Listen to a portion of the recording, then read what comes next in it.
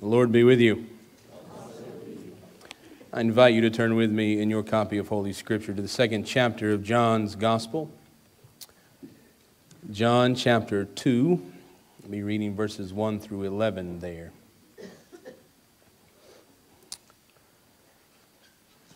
John chapter 2, beginning with verse 1, reading on to verse 11. Excuse me. On the third day, there was a wedding in Cana of Galilee, and the mother of Jesus was there. Jesus and his disciples had also been invited to the wedding. When the wine gave out, the mother of Jesus said to him, They have no wine. And Jesus said to her, Woman, what concern is that to you and to me? My hour is not yet come. His mother said to the servants, Do whatever he tells you. Now, standing there were six stone jar, water jars for the Jewish rites of purification, each holding 20 or 30 gallons. Jesus said to them, Fill the jars with water. And they filled them up to the brim. He said to them, Now draw some out and take it to the chief steward. So they took it.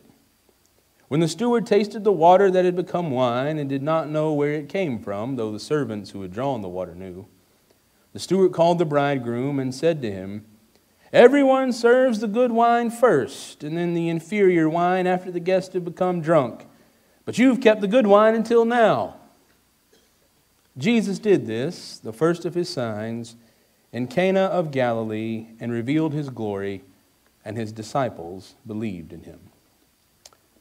May God bless the reading and hearing of Holy Scripture. Would you pray with me? Now, O God, may we have ears to hear,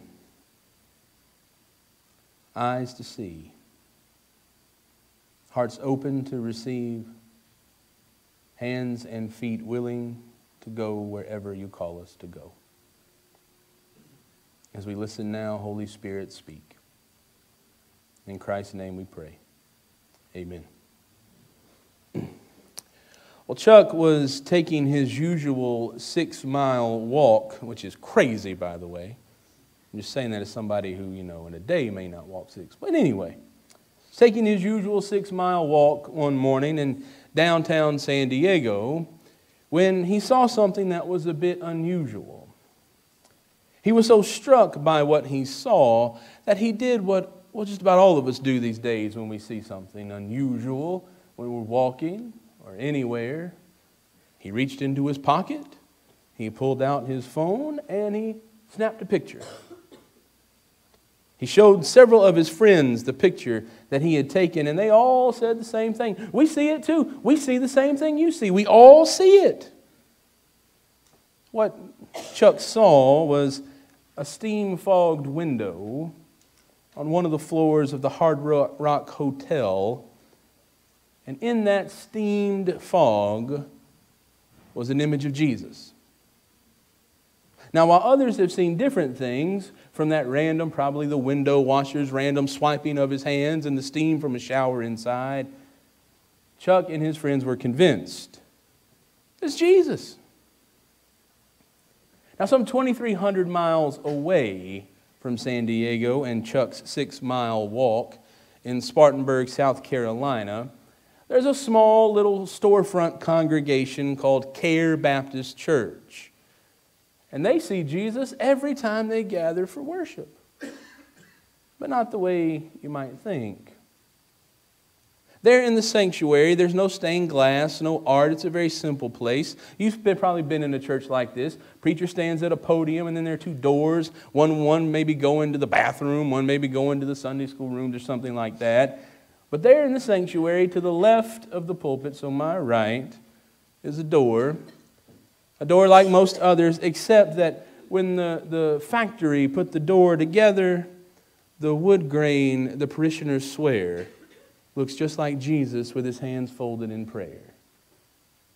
Now, depending on who you ask and probably where they sit in the congregation, some say, oh, he is surrounded by his flowing regal robes. Some say, no, it's clouds. He's surrounded by clouds because he's in heaven, you know. Others, maybe more classical rock, um, classic rock inspired, say, no, there's definitely a stairway to heaven behind him. But Steve, one of the members there, says, no, no, that's Jesus. And he took Jesus' image on this door as a sign. And so he called the local paper and told them, God wanted me to get the word out so people would come and see it. And if people came to see the door, well, you know, they might, they might stay and find God while they're here. Chuck and Steve are not unique when it comes to seeing holy images in strange places. People see them all over the world. They do. And everything from a grilled tortilla to stale Cheetos. I knew a youth minister one time, he kept one in a little glass case on his shelf. I said, What is that? He goes, Oh, it looks like Jesus on the cross. It's a Cheeto. 15 years ago, in 2004, uh, this online casino placed a winning bid for what was then a 10 year old, so now a 25 year, I want you to sit that to sink in for just a minute. A 25 year old grilled cheese sandwich because it looked as if the image of Mary had been grilled into the surface of the sandwich. Now it's 25 years old now. In 2004, they paid $28,000 for that sandwich. Now, all this begs the question to me with people seeing Jesus in foggy windows, in tortillas, grilled cheese sandwiches, Cheetos, doors, whatever, it all begs the question to me why is Jesus and Mary, why are they always popping up in these unusual places? Why are people always seeing them there? When, man, we are, are rich with images of them in stained glass, in pictures on you go to any doctor's office there's a little bible story thing sitting right there on the edge of the table there's jesus everywhere but still we look for him and we find jesus in these odd places it may seem silly but to someone i think who is listening for a word from god seeking direction in life, or simply wanting some affirmation of something out there greater than him or herself, an apparent appearing of Christ's face in something as mundane as a mustard stain can be a sign, a revelation of something greater. And who among us hasn't, at some point in our lives, searched for a sign from God?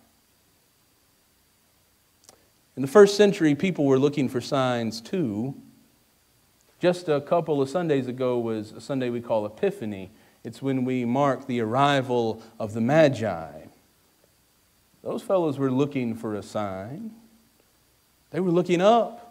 Maybe they were astrologers looking in the stars, looking for a sign. We don't really know. Maybe it was a comet. Maybe there was a star in the right place in one of the right astrological signs. But they were looking for a sign, something signaling the birth of the King of the Jews. But others were searching for signs too, and they were looking for them everywhere, even in the scriptures. In places like Joel chapter 3 or Amos chapter 9 that, that speak about this coming day of the Lord when there would be such an abundance that the mountains would drip with sweet wine and the hills would flow with wine and milk. And of course, there were, was that ever present feeling that I think permeates all of human history. That feeling that something big is just around the corner. This is why every election is the most important election, even more important than the last one. This is why every televangelist can make hay and tell you the end is coming in my lifetime. There's always something sort of permeating our existence that something is about to happen, something unknown, something out there. It's why people were able to make such a hysteric, uh, massive deal about the Mayan calendar predicting the end of the world. Because we're always looking for something, some sign. And so were the people of the first century, looking, waiting for a sign from God to begin to signal the beginning of something new, a new age. Some of the rabbis called it a messianic age, the age of the Messiah. And in this atmosphere of anticipation, people didn't just sit around on their hands looking for signs. No, they went about their business, doing life, still ever so often looking for something. Babies were born, parents died, and then people got married. There were weddings. And that's where we find ourselves today, at this wedding in Cana. Now, the first two verses of John's second chapter say, On the third day, there was a wedding in Cana of Galilee. The mother of Jesus was there. Jesus and his friends had also been invited. Now, this isn't, this isn't what you might think of as a wedding. A wedding in first century Cana was not some, some uh, mid afternoon sort of thing with flowers and cake and dancing off site, because you know you can't really dance at church, uh, uh, and punch, that kind of stuff. No. A wedding in Cana would last at least a week, with people coming and going, plenty of food to feed a small army, wine flowed freely, and there were even separate spaces for the bride and her party and the bridegroom and his party. People would go to, I mean, it lasted for, it was a party. Needless to say, a wedding in Cana was a party to which you hope you got an invitation. And this particular wedding in Cana may have been the wedding of a relative of Jesus and his mother, who was never, by the way, named in John's gospel, which I think is interesting. But Jesus and his newly gathered group of disciples were invited out of custom. Well, if Mary's coming, Mary's my cousin, now we might as well invite her boy and his friends too. Now, one of the things that most every wedding seems to have in common is the fact that something is going to go wrong. I've done enough weddings. I've only been a part of one, or only been in one, and then been in the bride in the bridal party. What I'm saying is I've only been married once. Maybe I should clarify that. Sally's getting a little worried. But I have been and done a lot of weddings and been to a lot of weddings.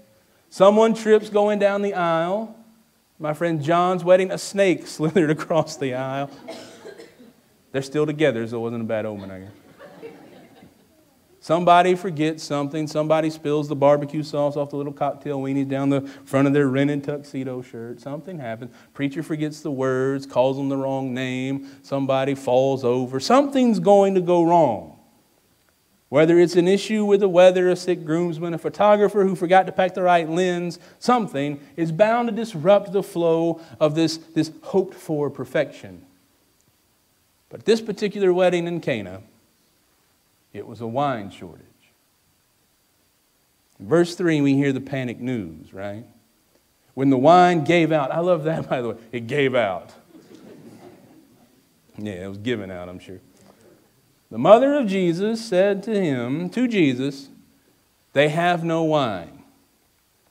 Now, this may sound sort of trivial, almost as if she nudged him, go, They ain't got any wine, Jesus. But this would have been a, very bad thing, a great social faux pas, since the host of the wedding, who is most likely a relative of Mary's, was supposed to make sure that every guest had plenty to eat and plenty to drink. And since Mary's, this was her relative, she certainly didn't want to bring shame to her kinfolk. This is a, a, a culture of honor and shame. And so she turns to her eldest son Perhaps one now that she, she's a widow, but, but perhaps one who, you know, she's starting to realize, oh, this is the Son of God. She turns to Jesus and says, They have no wine. And what does Jesus say to her? Woman? You've probably heard me say this before. Do you know what the Greek word for woman is? Gune. Isn't that lovely? Mary says to Jesus, They have no wine. Gune? Woman? What concern is that to you and to me? Now, John's a very theatric gospel, so I imagine that's how it went. Woman, gune, what concern is this to you and to me? My hour has not yet come. Maybe Mary thought Jesus would say, All right, boys, uh, Peter, go down, go down to the, to the grocery store and, and save the wedding. Just pick up some, I don't know what it's called, some wine. It's red, it doesn't matter. These folks are half wasted anyway. Just get something off the shelf and bring it. Maybe. Maybe she just wanted to let him know so that he and his disciples would maybe I'll cut back a little bit, maybe get some of the lemonade, you know, they've run out of wine. I don't know. Either way, Jesus doesn't seem to think that the wine shortage is worth his worrying. But Mary, Mary has a mother's intuition, and so she says, she says words to the servants in verse 5 I think we could all hear in talking about Jesus. Do whatever he tells you. That carries some weight, doesn't it? Do whatever Jesus tells you. Now, in the middle of this ordinary cultural event, there is this ordinary, uh, perhaps expected problem. And despite the initial protest, Jesus takes action to remedy the problem before it has a chance to get out there, before folks start murmuring, they run out of wine. They run, oh my goodness, can you believe it? They ran out of wine. So Jesus says to the servants in verse 7 fill the jars with water. These large stone jars for ritual purification. You know, this is the day before water is really actually clean enough to wash anything off your hands. And so they would have these stone jars, 20 or 30 gallons full, to wash their hands in sort of a ritualistic sense. And so they filled them to the top, to the very top, between all six jars, about 120 to 180 gallons. And then he said to them in verse 8, Draw some out and take to the chief steward, the one who has taken it easy a little bit on the wine, the one who is in charge of making, every, making sure everything goes fine. So he hasn't gotten so far gone that he won't recognize, or that he will, he will recognize the taste of good wine. But now the gospel writer doesn't tell us how Jesus did it. There's no mention of any word spoken. He doesn't lay his hands on the jar. He doesn't say bippity boppity boop, nothing like that. There's no prayer offered. They just dip water out of the jars. They draw out a bit, and upon taking it to the chief steward, we all find out that in fact the water has been turned into wine. And not just any wine, but the best wine. In fact, the steward says so. He says, He called the bridegroom and everyone to him. Everyone serves the good wine first, and then the inferior wine after the guests have become drunk. But you've kept the good wine until now. There's something about that, I suppose. Jesus isn't going to make mediocre wine out of water. But here it is. He gave credit to the bridegroom, the steward did, and maybe his caterer. But in fact, no one aside from the servants, John tells us, knew what had happened. But verse 11 says that Jesus did this, the first of his signs, in Cana of Galilee, and revealed his glory, and his disciples believed in him. John tells us who it was, not the bridegroom, not the caterer. It was Jesus. Jesus did it. He turned the water from the ceremonial jars into the best wine at the banquet. Now, that's a miracle. John calls it a sign. That's what John calls all of Jesus' miracles in the fourth gospel. He never uses the word miracle, he says sign. Isn't that interesting? People were watching, waiting, and hoping for a sign. A sign from God. Some indication that maybe the age of the Messiah was close at hand, some signal the day of the Lord might be near. And then Jesus does this his first of his signs at a wedding in Cana, where only a few servants know what happened, and only the few disciples he's gathered so far believe in him. Now, isn't that strange? The first sign signaling the Messiah's arrival, the presence of God's kingdom, happens in this all too common event of a first century Jewish wedding. The sky doesn't split open. The earth doesn't shake. The sun isn't blotted out in darkness. There's no earthquake, not even the appearance of a divine image in a grilled cheese sandwich. The first sign happens in a surprisingly reserved and quiet way. And only if you come away believing in the one who made it happen. But isn't that how God works?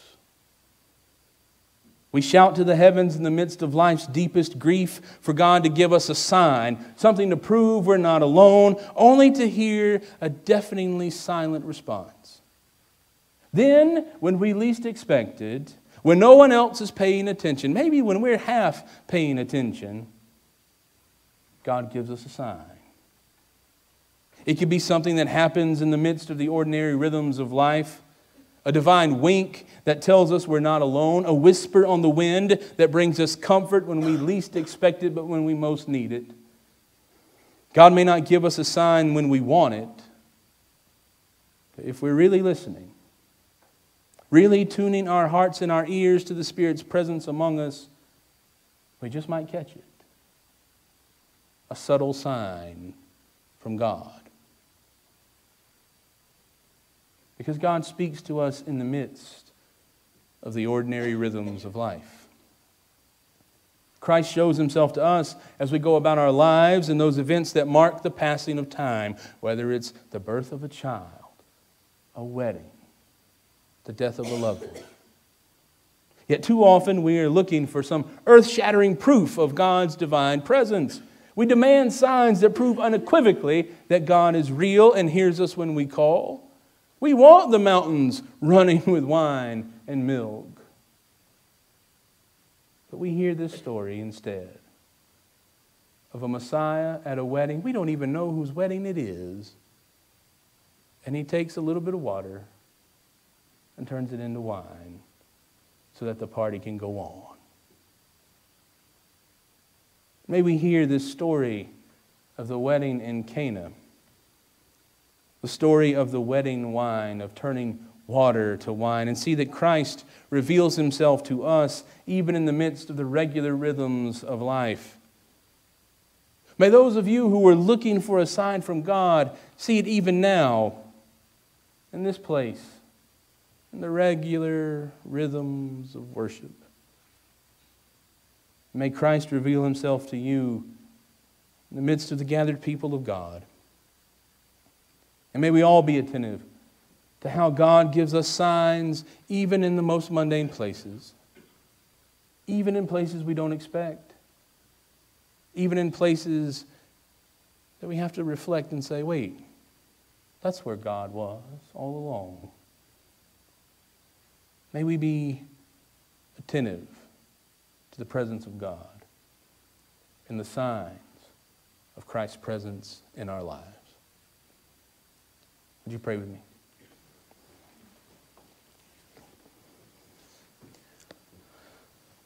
Lord Jesus Christ, Son of God, Lord, you turned water into wine at a wedding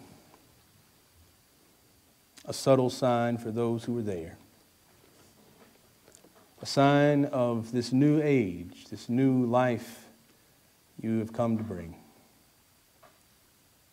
Help us, Lord, in the subtle signs in our lives to bear witness to that truth. Help us, God, to see the signs you place before us in subtle ways, most unexpected ways. Help us, Lord, to recognize that it is you. Holy Spirit, will you move here now in our presence, revealing to those of us who need it, even now, a sign. We pray in Christ's name. Amen.